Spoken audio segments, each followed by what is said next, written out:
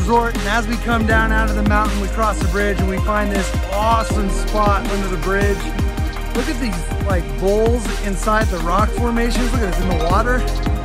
So awesome, guys, so awesome. And then all this foliage over here. It's just awesome, awesome stuff in here. Just looks so cool. It's like perfect for the minis. Pretty sweet.